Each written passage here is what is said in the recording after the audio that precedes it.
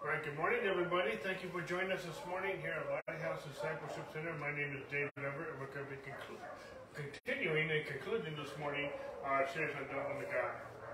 So this is part five, I believe it is. This will be the conclusion of this series. We'll start a new series starting next week. And just so you know, all of our teachings are archived on our website, lighthousesdiscipleship.org, as well as our YouTube channel, Lighthouse Discipleship Center.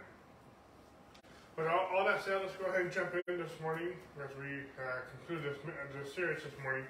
Our theme verse, uh, our theme verse, excuse me, let me say that again, uh, that we've had during the series is from Psalm 78, verse 41. It says, Yes, again and again they tempted God and limited the Holy One of Israel. excuse me. Again, this is speaking about Israel when they're going to enter into the promised land and they were wandering in the wilderness a journey that should have only taken one year, they for 40 years because they tempted God over and over again. We limited them. When we limit God, we tempt Him. Okay? Excuse me. And so, and how do we limit God? We've been discussing that throughout the series, but we limit God, and one of the one of the main ways that we limit God, I believe, is also because of the cares of this world the cares of the world, the deceitfulness of riches, and the desire for other things entering in and choking the word, and then becomes unfruitful. This is extracted from the parable of the sower. Okay, this is the third uh, third type of seed, and it's choked out by the cares of the world. yes, there's the deceitfulness of riches and the desire for other things, but those I think still stem from this concept of the cares of the world. The Bible says in Proverbs, guard your heart with all, all diligence, because out of it are flow the issues of life. Excuse me. So we got the cares of the world. That's why we are to be still and know that He's God. We live in a very busy world, not just fast paced, and it might be busier here in the West and excuse me, some metro parts of the world, but than some other parts of the world. But we need to just be, our minds are going all the time. There's a lot of things going on. There's a lot of things that we need to do. There's the cares of this world. There's the cares of life. And we need to pause, just like Jesus did many times, and be still, know He's God. Okay, we need to, to be like Elijah, who, yeah, he was complaining about God. He was complaining about how Jezebel was trying to kill him, just like all the other prophets. Uh, okay, and excuse me. And he went and go when he went all depressed, pouting about life, and God wasn't in the wind, he wasn't in the earthquake, he wasn't in the fire, but he was in the still small voice. Okay. Jesus said, Come to me, all you who labor and are heavy laden, and I will give you rest. Take my yoke upon you and learn from me, for I'm gentle and lowly in heart, and you will find rest for your souls. For my yoke is easy and my burden is light. We've made life so complicated because we do it without God. We limit God by doing it without Him. We limit God by not resting in Him. We limit God by not trusting Him, relying on Him, being God dependent instead of being independent. Okay? I think I said that backwards. We, we limit God by being independent instead of God dependent. Okay? We need to, Jesus even said, come, he said to his disciples, come aside by yourselves to a deserted place and rest. It's not all, it's not all work and it's all not all rest. I mean, we're not, he's not talking about being complacent. He's not talking about being lazy. He's talking about being still and knowing that he's God. Okay? I don't care what thing you're doing for God. I don't care what type of ministry you're doing, or what you're doing for the kingdom, or what you're doing for your family. You need to have time where you're being still and knowing God. If you don't have time to have a relationship with God, you are limiting God in your life big time. Okay? And so we need to spend time with God. We need to, I'll come back to this first later, but we need to bring every thought to captivity to the obedience of Christ. Every thought. Our minds are racing. Some of you can't sleep at night. Some of you have no peace in your heart, in your life. Because your heart, your mind is not stayed upon Him. And I'll come back to that verse as well I just quoted from Isaiah 26, verse 3. Okay? Excuse me. When when we bring every thought captive to obedience of Christ, that's, that's the weapons of our warfare. That's how we fight. This fight, this like fight of faith. Okay? We need to be still and know that He's God. You know, Paul said that God has chosen the foolish things of the world to put to shame the wise, and has chosen the weak things of the world to put to shame the things which are mighty. Why did God choose the foolish things? Okay, yes, we are a chosen generation, a royal priesthood, a holy nation, his own special people that he may proclaim the praises of him who called out of darkness and marvelous. Yes, we are special. So, if, why did he choose the foolish things to be the special people? Okay? And yes, we're this, but it's in him that we live and move and have a being. Okay? We are special, but we need God. God has, we are an asset. God has invested himself to us. He has bought us with the, his own blood. With the blood of Jesus. We are special, but we need God. We need to be God dependent, not independent. Okay? Because it's in Him that we live and we move and we have our being. It's His beauty that is upon us and establishes the work of our hands. It, our hands are, the work of our hands are established by Him because of His beauty that's upon us. Okay? We also need to, my sheep hear my voice. And I know them and they know me. You need to hear God's voice for direction. You need to hear God's voice for wisdom. You need to hear God's voice for your provision and your affirmation of who you are as a child of God. Is this making sense so far? Okay?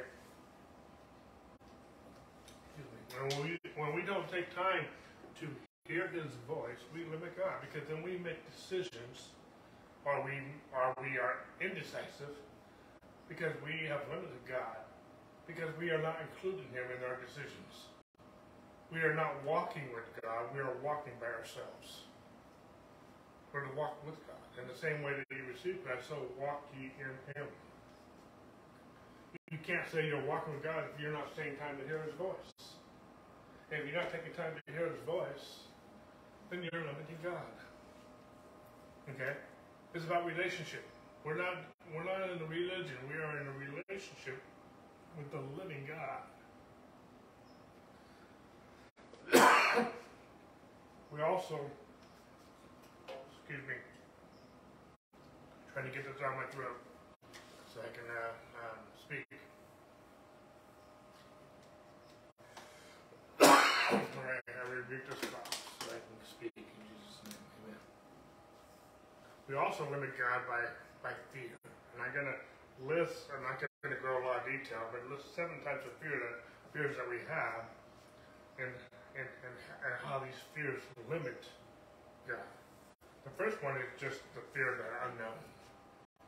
You know, we we get stretched when we have, are come across something that's unknown to us. And there's a change of the unknown, or we don't know what's going on tomorrow. We don't know uh, the unknown, whatever that unknown looks like. Let me just preface these seven things by saying, from 1 John 4:18, there is no fear in love. I'll come back to this verse later, but perfect love casts out fear because fear involves torment, and but he who fears has not been made perfect in love. Okay, there's no fear in love. So if we are experiencing fear, we have not been made perfect in love, and we are limiting God in love. Because God is love.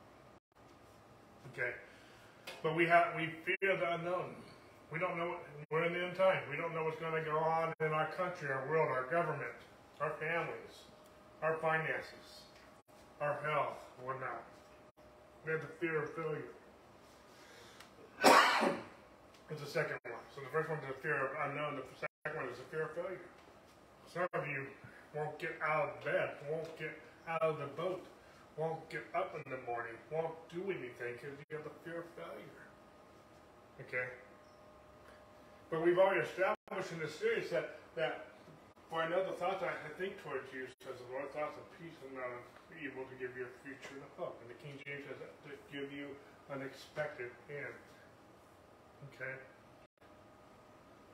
We need to step out of the boat like Peter. Many of us are tethered to the dock and wondering why God's not leading us. Because you're, you're playing it too safe. A few years back, the Lord told me I was turned. I didn't understand that concept. So I had to look it up. I had to study it. I had to ponder it. I had to, to meditate on that concept. And I was just too tethered to the dock. Even if I drifted, he could at least be the wind in my sails. But I'm tethered to the dock, I'm not going anywhere. Let me just say this about the fear of failure. God's will is the safest, safest place you can ever be being in the center of God's will is the safest safest place that you can ever be. A few years back, Sherry and I went through a lot of different attacks by uh, people who were just attacking us for slander and betrayal and gossip. It was a very severe time for us, very hurtful time for us. But you know the thing that kept us safe, kept us afloat, was knowing that we were in the we were in the center of God's will. And we would hear his voice. There was a lot of other voices out there, a lot of lies out there, a lot of hatred out there, a lot of evil going on. But we heard his voice. And we knew we were in the center of his will. And we cleaved to him and not to the, the words of man. Okay? And so um, we, we had to we were doing what God called us to do, not what man calls us to do. Because God's calling in my life, God's calling in your life was not a conference call. Okay? And so, you know, sometimes, a lot of times we are paralyzed. And, you know, being paralyzed is our, our worst failure. Doing nothing is failure. Not getting out of the boat, not doing, not being in the center of God's will is the worst, excuse me, is the worst failure of all. It's insanity to keep doing the same thing and expect a different result. So if you need to start doing something different, you need to expect something very different. Some you need to just change your expectations. Okay? You're limiting God because you have a fear of failure and you want to play it safe, you won't get out of the boat, and you keep doing the same thing and wonder why you're not getting result. the worst failure is. You've been paralyzed by fear. But you need to simply know what God's will is and go for it. Do it. It's the safest place you can ever be. Okay? Because remember, going back to 1 John 14, there's no fear of love, but perfect love casts out fear. So how do we get rid of this fear? We spend time in God's presence.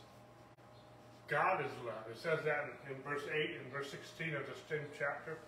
God is love. And when perfect love casts out fear. He who fears not been made perfect in love. So what do you need to do to experience fear? You need to spend time with God and, and get to know His love for you. Okay? And then spend some more time with that.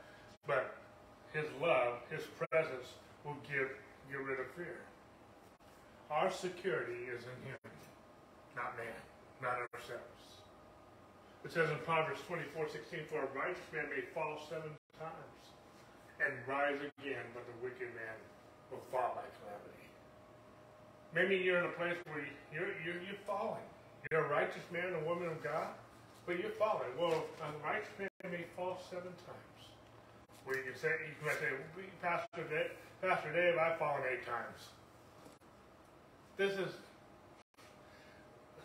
don't bank on just how many times it was. There's a principle here. You might fall multiple times, but a righteous man will rise again. Okay? I don't care if you fell a hundred times. His mercies are new every morning. Great is his faithfulness. I'm not banking on your faithfulness, I'm banking on his. Okay?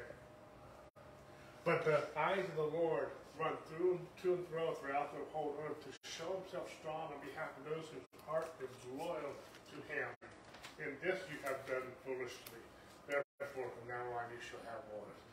And I focus on the last part, not focus on the context, but there's a, there's a promise here that God is searching out the earth to see whose hearts is up to Him. The thing I'm trying to paint the picture is that we need to be totally committed to God. We limit God when we're not totally loyal to Him. We're not totally committed to Him. See, I'm not committed to my calling as a pastor. I'm committed to Him. And He who's called me is faithful. Okay? So I'm, I'm going to be faithful with that. You know, D.L. Moody said this once The world has yet to see a man. Let me say it again. The world has never seen what God can do through one person who is totally committed to Him.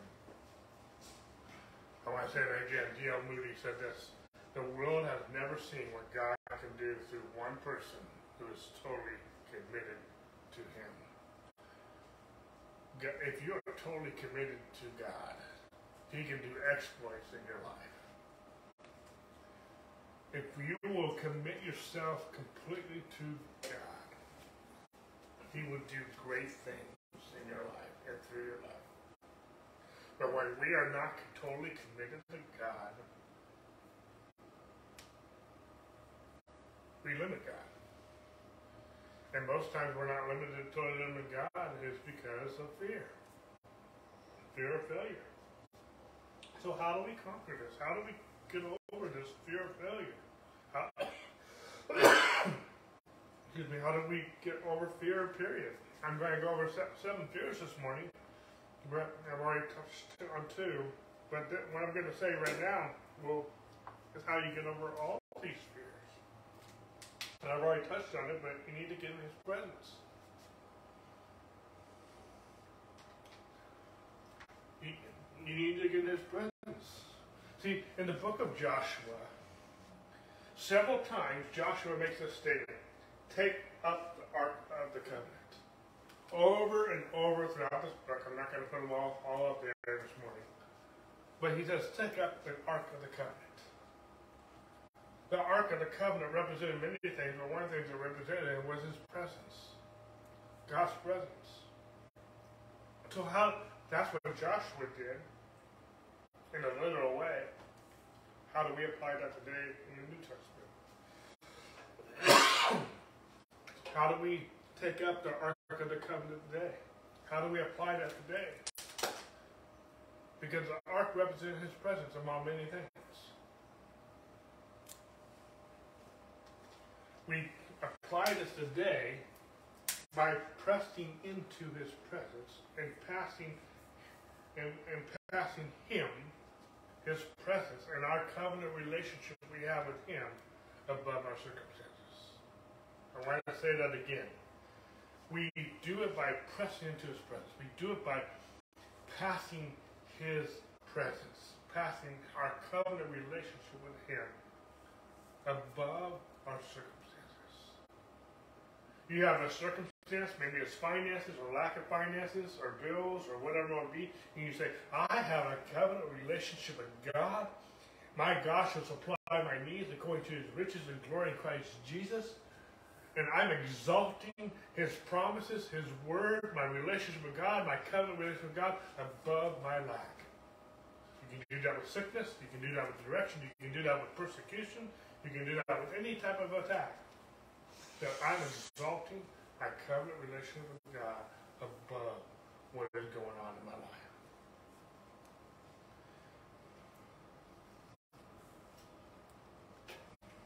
You can simply say something to the effect, I claim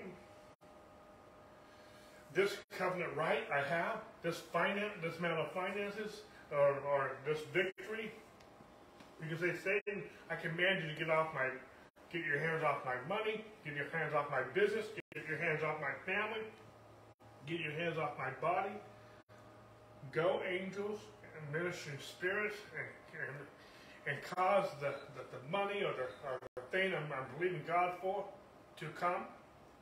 For the earth is the Lord's and the fullness thereof. I am a, uh, heir of God and a co-heir with Jesus. When you know who you are in Christ, when you know who you are because of the finished work, you have authority and you can lift that covenant relationship with God above your circumstances. And it has to bow to the finished work of the cross. Get into his presence where there's flows of joy. Get into his word. Worship him. Pray in the spirit. Pray in tongues. Build yourself up in your most holy faith. Pray in the Holy Spirit. Excuse me. Practice his presence.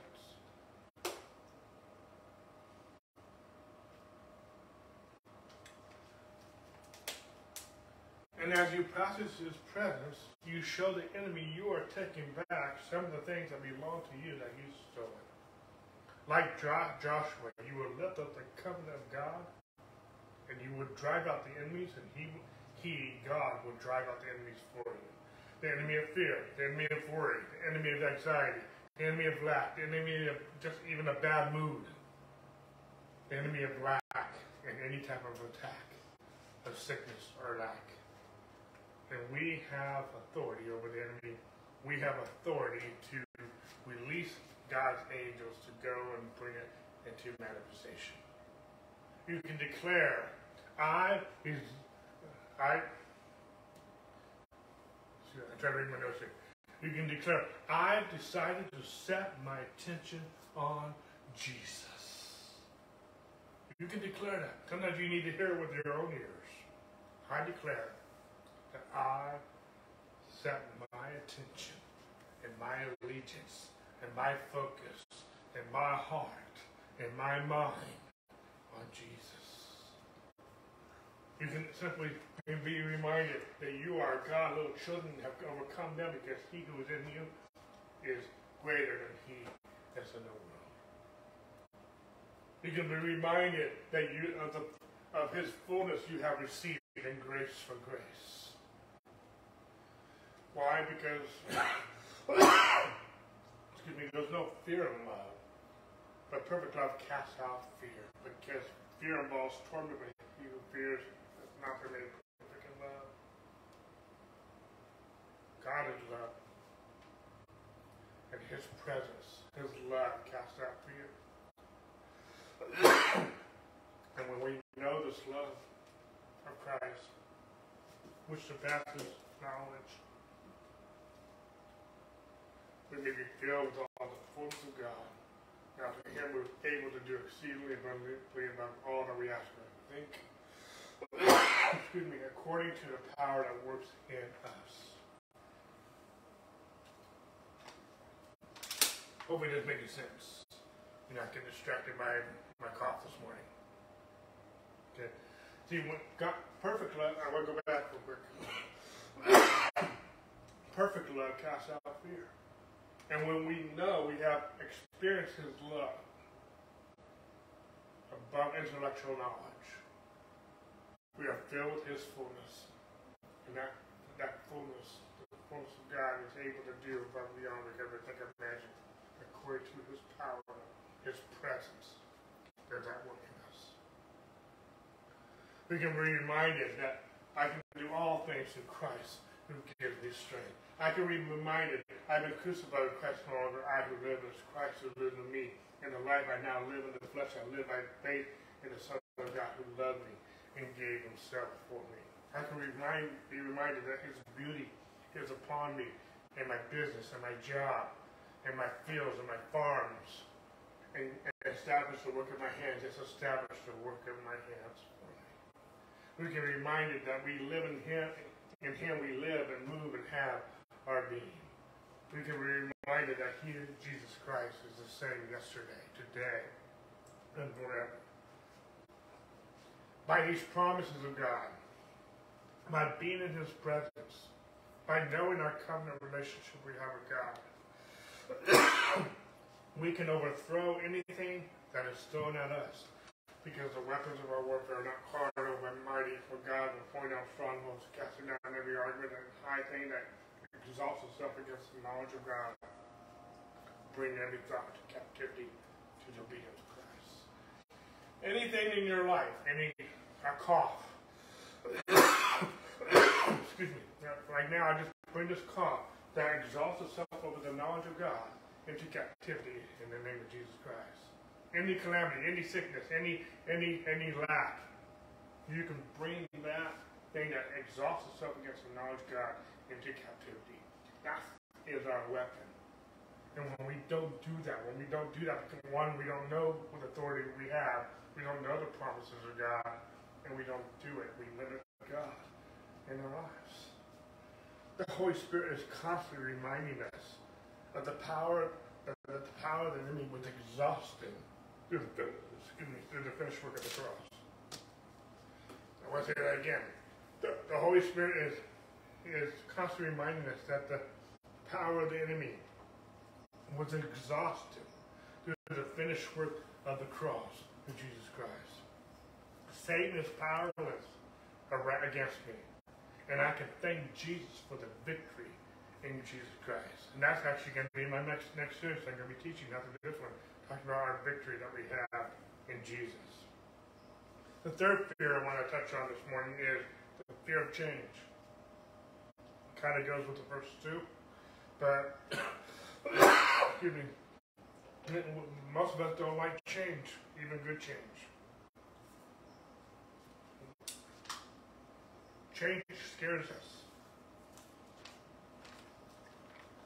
We all, many of us fear change. Again, even good change.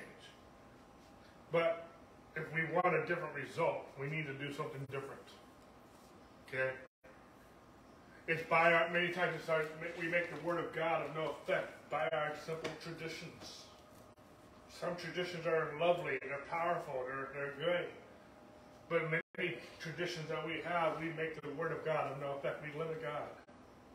Because we, we don't want to change. We've always done it this way in this church. We've always done it this way in this family. We've all, I've always done it this way in my life. And you're always going to get the same result.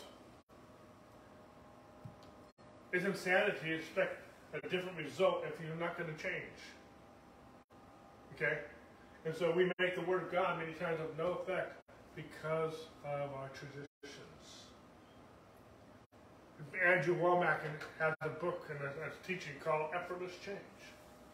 It's based on the concept that we abide in God, we, we abide in Him, and His Word abides in us, just by the fact that we're abiding him, his life, his nature will change us.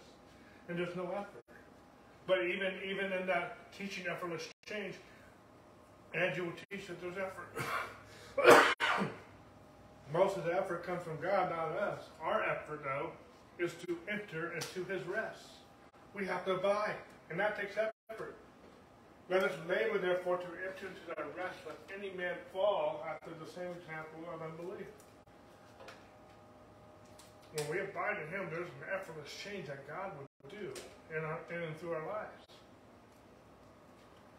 And we limit God because we don't allow God to change us effortlessly. But there is an, there is an effort, even an effortless to change, and that is because we need a labor to enter into that rest, so that He, not us, can change us.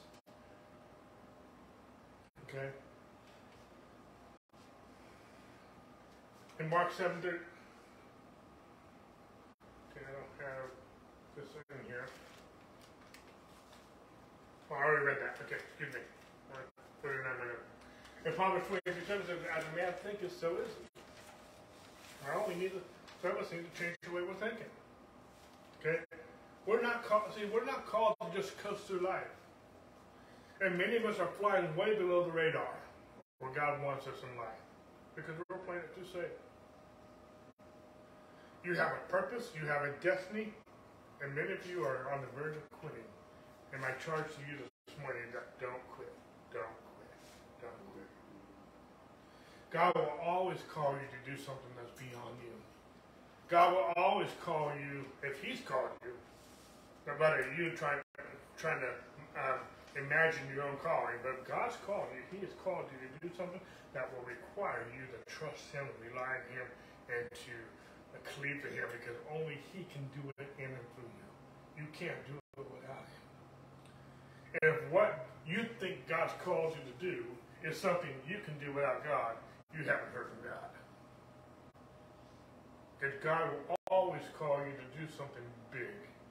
That will call you, commit, will require you to depend on Him. And so maybe, so maybe us, we need to change our thinking. Okay? We need to cast out the fear of failure. We need to cast out the fear of change. And we need to change the way we're thinking. We need to, by the mercies of God, we need to present our bodies as a living sacrifice, holy self to God, which is our reasonable service, and, and not being conformed to this world, but being transformed by the renewing of our mind, that we may prove what is the good and acceptable and perfect will of God. Until we are transformed by the renewing of our mind, we're not going to know the will of God, and let alone walk in it. We need to allow God to transform, revolutionize our minds. Okay? The fourth type of fear I want to talk about this morning is the fear of man. Okay, it says in Proverbs 29 25 that the fear of man brings a snare, but whoever trusts in the Lord shall be saved. the fear of man is, is a snare. Insecurity is pride. We know that pride goes before fall, but insecurity is pride. We should be secure in our relationship with God. For many of us, we're afraid to do anything for God because we have a fear of man. We're, we, many of you are paralyzed because you don't want to be criticized. And you limit God because you have a fear your fear of man is greater than your obedience and allegiance and trust and reliance on God. And you limit God. You know, you know, when David came on the scene with Goliath, he was berated by his own brother. His own brother criticized him, he lied.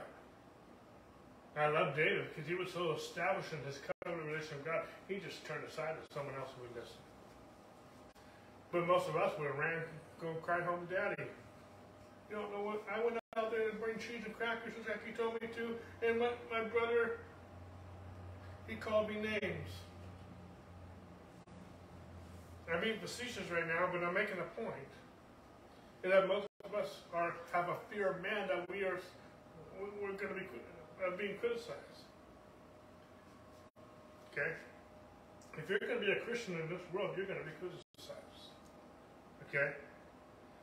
At the same point in time, we need to stand up for the truth. You know, when the early church was being persecuted, what did they pray for? They prayed for more boldness. They didn't pray for the persecution to stop. They prayed for more boldness. Okay? In First Kings um, before I turned to, before we turned them, Elijah was being attacked by Jezebel, and he stood up to King Ahab. And Elijah, the Tishbite, uh, Tishbite the inhabitants of Gilead, said to Ahab, As the Lord of God Israel lives, before whom I stand, there shall not be dew or nor rain in these years, except on my word. Because Elijah stood up to King Ahab, he prophesied that there would not be a rain in these lands for three years. I mean, it, to me, it's not about the rain or lack of rain. Elijah did not have the fear even, even King Ahab. He stood up to him and spoke the truth. Okay, you have to read the rest of the context in First, First Kings chapter 17 and even be in verse uh, 15, because the chapter starts with the word "and" in conjunction.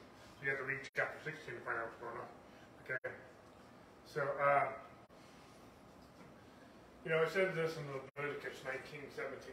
You shall not hate your brother in your heart, and you shall surely rebuke your neighbor and not bear, the, bear sin because of him. In other words, the Bible says, even in the Old Testament, that if you if you don't rebuke your brother who's sinning, you hate him.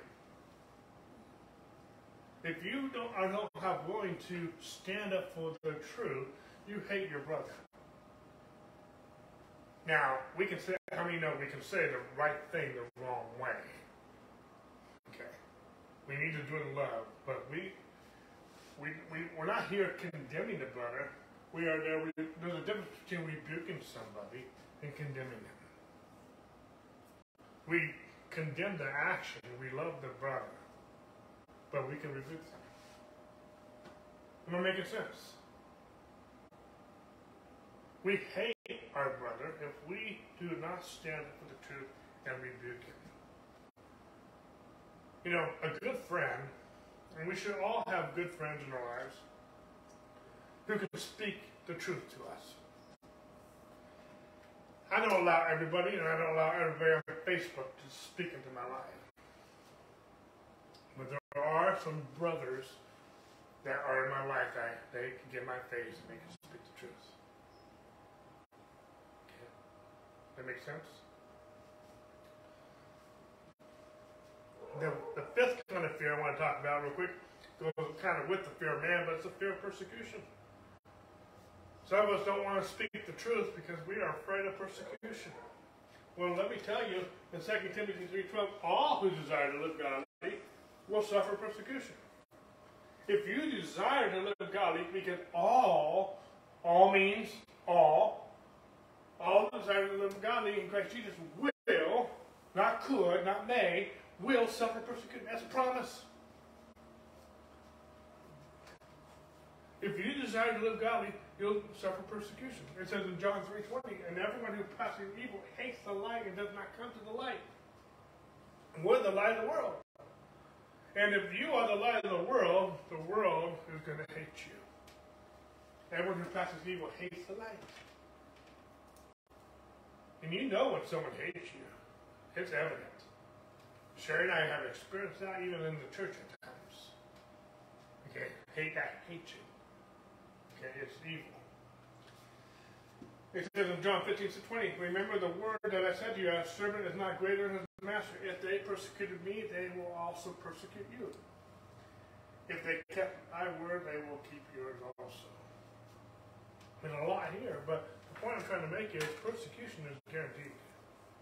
Now, let me say this. Some, some of the persecution we are experiencing in the West right now is not what people like people in Pakistan right now are experiencing. People in Pakistan and other parts of the world are and have experienced what I call true persecution. I believe it's coming to the West at some point or level, okay? But persecution persecution. At the same point in time, there's different levels of. Being martyred is a lot different than being criticized. And someone speaking evil of you. And that's as far as it goes. Okay? and, but true persecution, but there's a difference between just the fear of persecution of being martyred and just having the fear of man and someone's going to speak naughty about you. Okay? There's a different level. There's a different level of fear. How do you know if you if your life is on the line? That's a little different than someone just uh, saying some bad things about you. But people have fear both. Some people actually fear man being criticized more than they fear dying, because at least they're dying, they're not going to experience it anymore. You know, and I'm not trying to belittle that, but my point I'm trying to get, because we're talking about don't limit God no matter what type of persecution you're going through, and we've been promised persecution, God is enough. God is enough. Stop complaining, stop whining, kicking and screaming. There's no restraints with God. There's no snares with God. the fear of man brings a snare. As long as you don't have a fear, and how do you, how do you. How do you cast out this fear? The love of God. Okay, and if you are so grounded and know the love of God, that which His fullness is in you, and it casts out fear. Because if God's fullness in you, God's fullness is in you, what are you fearing? The God who created the universe, the God who can calm the storm, the God who split the Red Sea, the God of the universe is in his fullness is in you, and you're going to fear man? But when you know the love of God, and you're filled with the fullness, He is able to do exceedingly abundantly above all you could ever ask. See, when you know God's love, there's no snare. There's no restraints. And you can do what God's called you to do. And you can be who God's called you to be. Because God is with you. And he who's in you is greater than he that's in the world. We limit God because of fear. And, if, and when we fear, we have not been made perfect in love. Am I making sense? So how do we fix it? We get perfect in love. You get to know His love. You get into His presence. And you let God love on you. And that will overcome this fear. And you can do what God's called you to do no matter what's going on. Okay? But again and again, throughout history, and the children of Israel tempted God and limited God, and many of us have too. Okay? And you can read the whole story in Numbers chapter 13. I'm not going to bring it on the screen. I've been talking about this throughout this whole series. But it's talking about them going into the promised land. They were not able to go to the promised land, and the writer of Hebrews in Hebrews chapter 3, 4, and 5 to go to greater length of this. But they did, couldn't go because of unbelief. They couldn't go because of going back because of the fear of man. They, would, they feared the giants. They feared man. Okay? And because they feared man, God's promise, the promised land, was delayed for another 40 years. They were supposed to get there in one year, and it ended up being a whole generation later, except for those who did not have the fear of man, like Joshua and Caleb. Okay?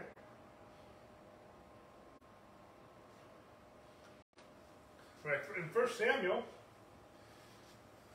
we have the story of David and Goliath. And David spoke to the men who stood by him, saying, What shall be done for the man who kills this Philistine? and takes away the reproach from Israel. For who is this uncircumcised Philistine that he should defy the armies of the God?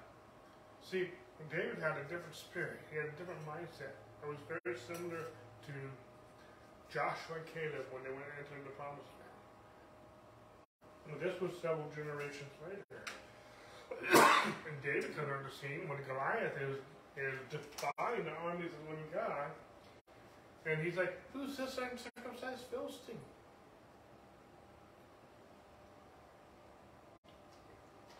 David didn't care how big this guy was. He didn't care about his armory. He didn't care how old he was versus his own age. He was like, Who's this uncircumcised Philistine? God's enough. There's nobody on this planet, and even all the people on this planet combined, that's bigger than my God. And we, when we compare the circumstances, any man, even a giant, compared to God, and we have fear over them over versus God, we limit God. David didn't limit God in this, in this scene. He knew who his God was, and his attitude and his response was, Who's this uncircumcised Oh, he's he didn't see the giant. He didn't see the armory. He just saw uncircumcised Philistine. That's all he saw. Compared to his God.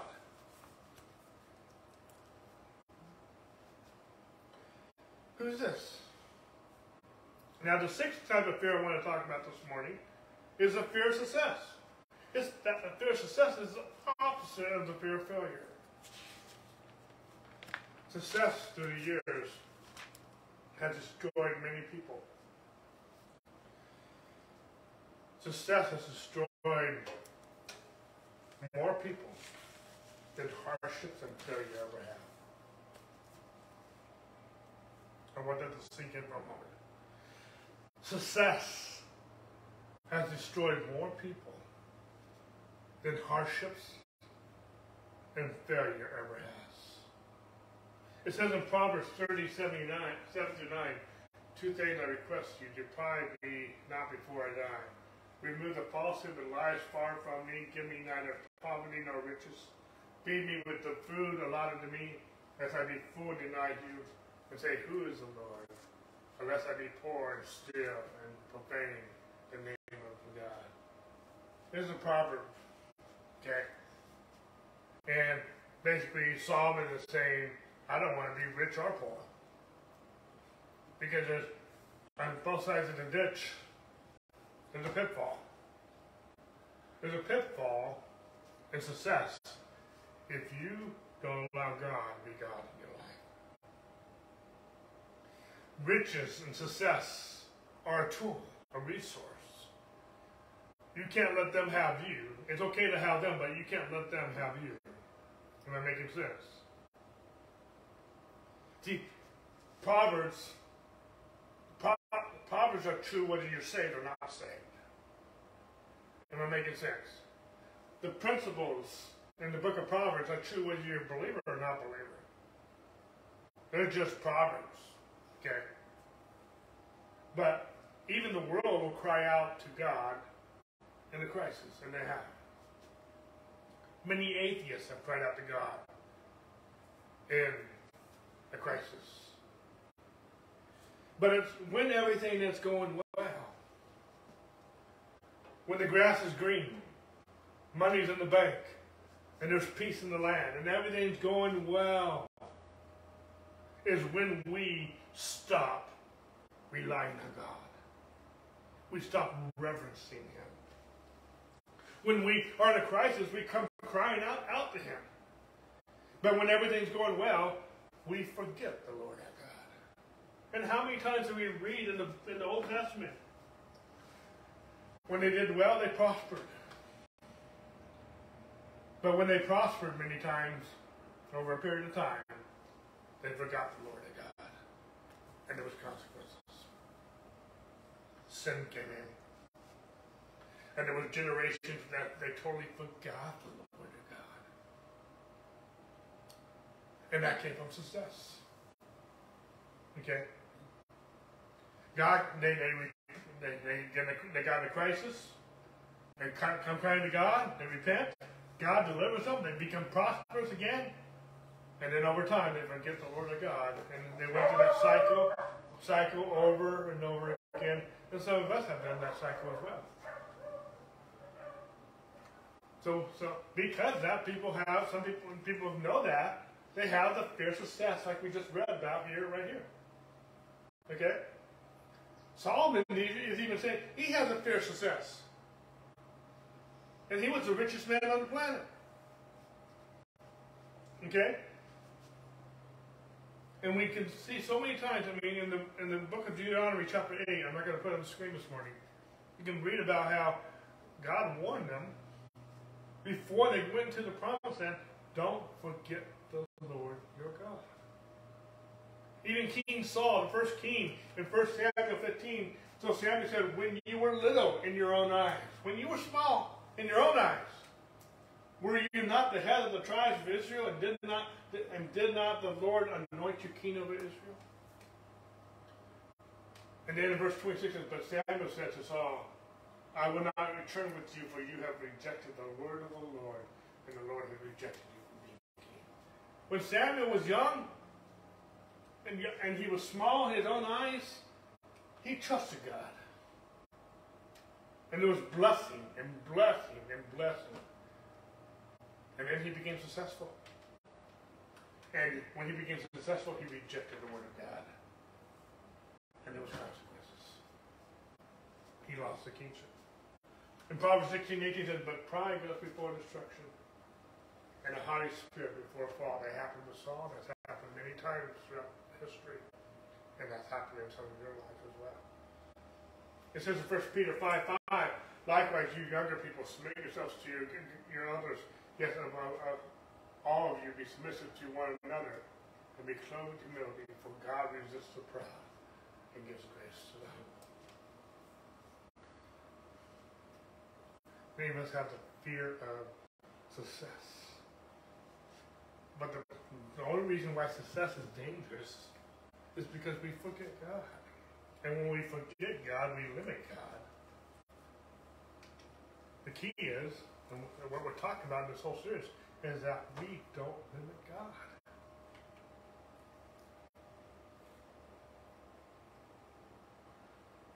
The, the seventh area I want to talk about fear, and it kind of goes with success, is the fear of prosperity. It kind of goes with it. So they kind of, they're kind of twins. But just like success, prosperity, prosperity has destroyed a lot of people. More than any hardships and failures ever have. Prosperity many times. And we've talked about prosperity in this church as a, a benefit of our salvation. It's okay to have money, but it's not okay for money to have you. There's a difference. Okay? And so, prosperity many times has caused people's hearts to become hardened towards God and has caused apostasy. But it's not really money that's the problem. It's not prosperity that's the problem. It's not the, the success that's the problem. It's the heart.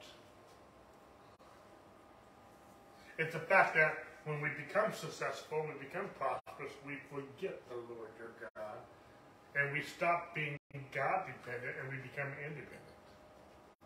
That's the problem. Okay? See, when we are independent versus God dependent, we are limiting God.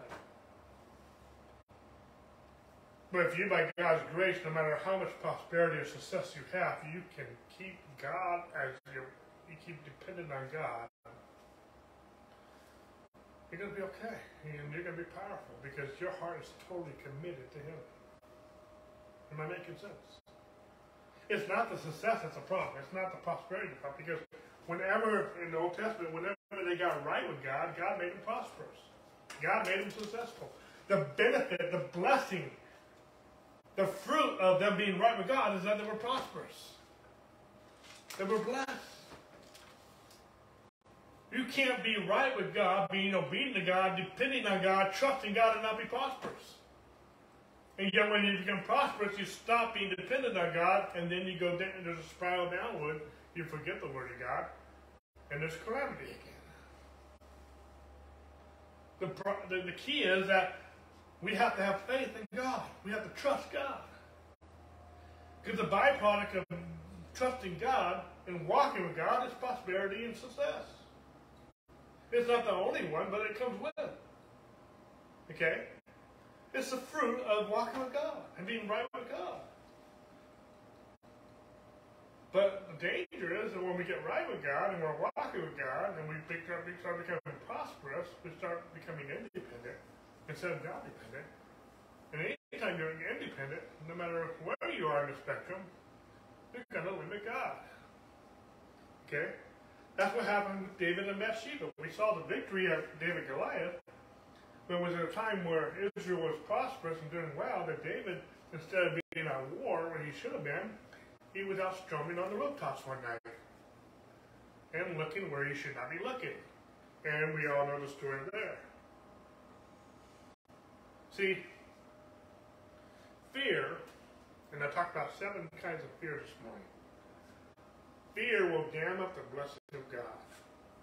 See, when we are walking with God and depending on God, trusting God, relying on God, coming to God, we're going to be prosperous and successful. We're going to be blessed. But fear will dam up that blessing. when you fear, whether you're fearing man, fearing success, fearing failure, fearing change, you will you will hold back God's blessing. I want you to hear that. When you are fearing anything, because where does fear come from? Fear comes from not being established in His love, not being protected by His love. So fear will hold back God's blessing in your life. But when you yield, when you yield to God, when you yield what he tells you to do and you say, go, I'll go for it. I'll do what you told me to do. And I'll be who you told me to be. And you are totally God dependent. You release the dam of God blessing you. and that God's blessing, the miraculous blessing of God, will come gushing forth. Many of you are like, well, when's my blessing going to come? When you step out like the priest and step out into the water and you do what God's called you to do, the blessing will come. He will release to them. But when long as you have fear, you're holding back not because God told you to wait, but you're holding back because of fear dam up the blessing. But once you respond to God and do what God's called you to do, rely and trust on Him, there will be a gushing, a flow of that blessing. I want to conclude today in this message by talking real quick about imagination. I've talked about this a lot in previous talks, but I want to teach on this briefly, real quick here in closing and how it relates to don't limit God. Okay? See, imagination, we think in pictures. God gave us an imagination. Okay? And if people like Disney and they helped helped us bring that out in our in our generations, recent generations, you know, through Mickey Mouse and things that brought out that imagination a lot more.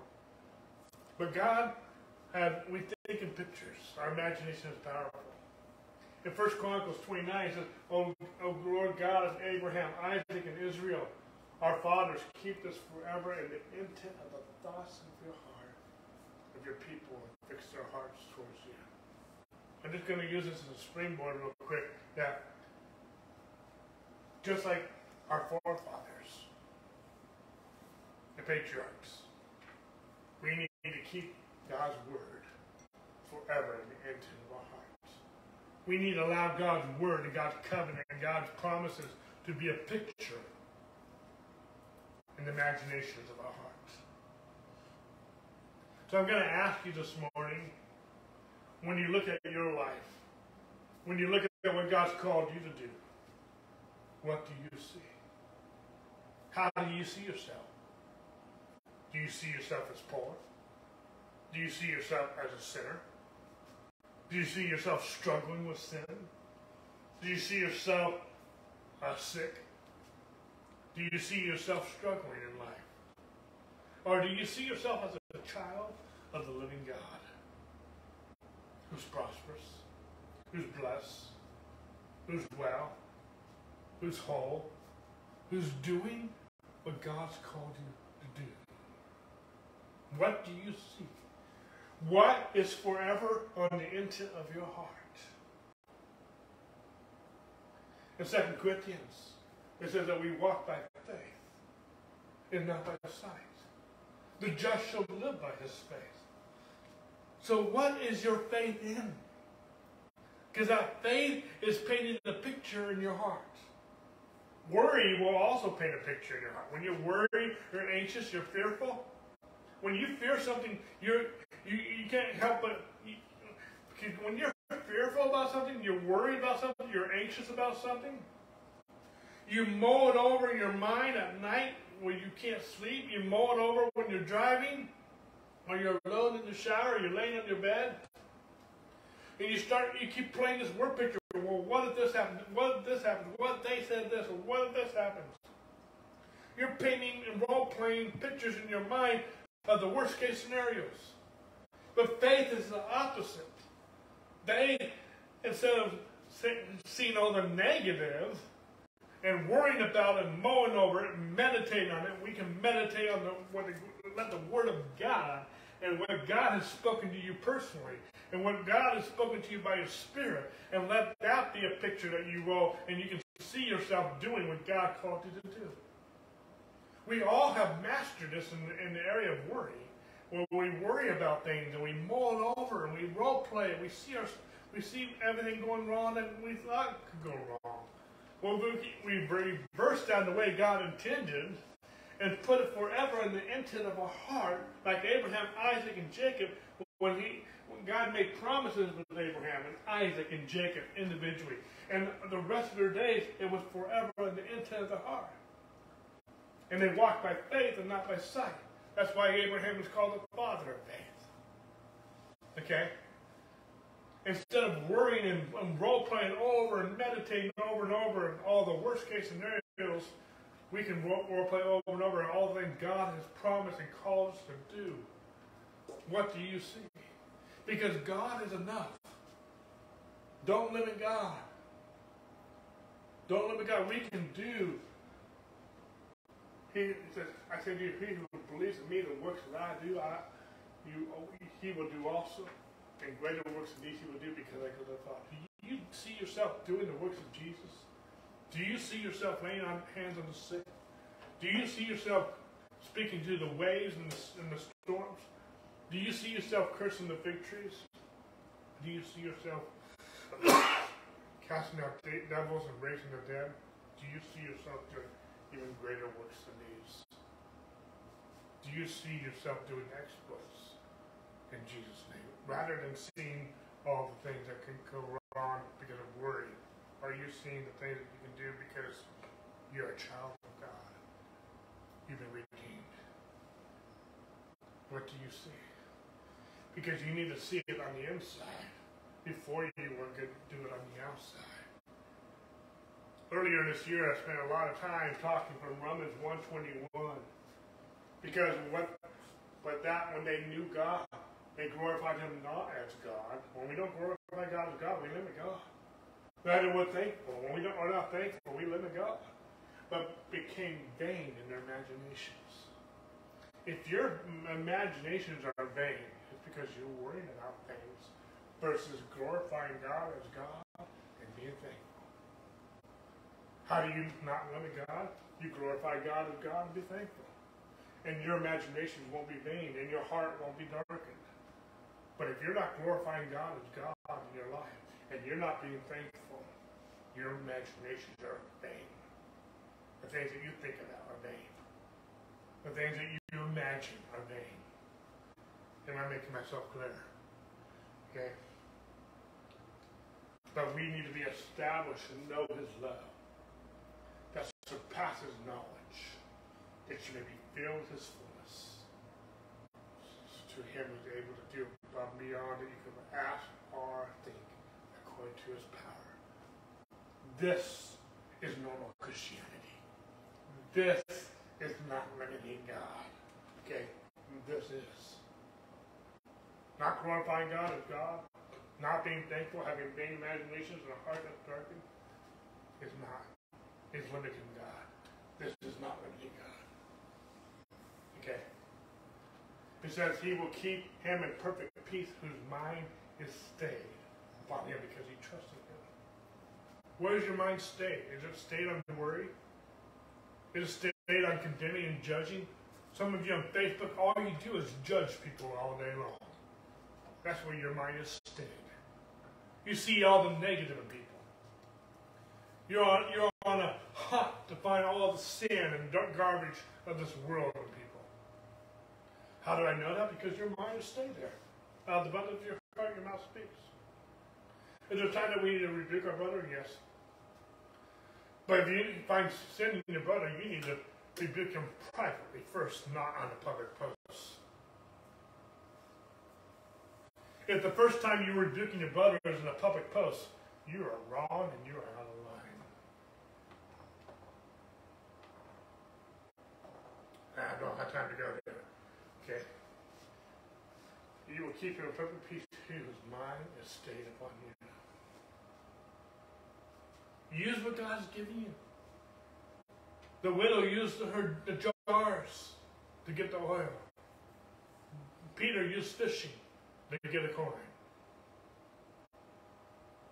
I can go on and on and on and on about how you can use what God has given you. The, Jesus used the boy's lunch that was given to him to feed the multitudes. Don't limit God saying, I don't have enough.